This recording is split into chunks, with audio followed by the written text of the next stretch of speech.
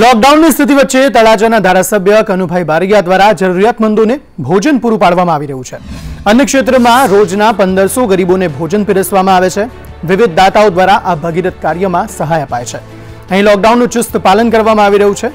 Alang ship breaking yard સહિત જિલ્લામાં કોરોનાગ્રસ્ત વિસ્તારમાંથી કોઈ પ્રવેશ ન કરે તે માટે તંત્ર વધુ કડક વલણ અપનાવી રહ્યું છે.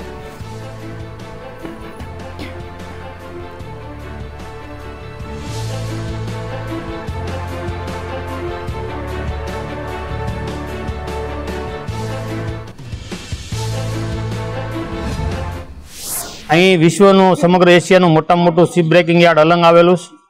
કલેક્ટર સાથે અમે બે વખત મિટિંગ પણ કરીશ કે કોઈ પણ કોરોના પોઝિટિવ હોય કે હોટસ્પોટ એરિયામાંથી આવતા હોય, એવા કોઈ પણ શિપ બ્રેકર હોય કે એમના મજૂરો હોય, કે સ્ક્રેપના વેપારીઓ હોય, એને પ્રવેશ આપવામાં ન આવે. જેથી કરીને જે તળાજા વિસ્તાર આજ સુધી કોરોનાથી બચી શક્યો છે, એ આવતા દિવસોમાં બચી શકે.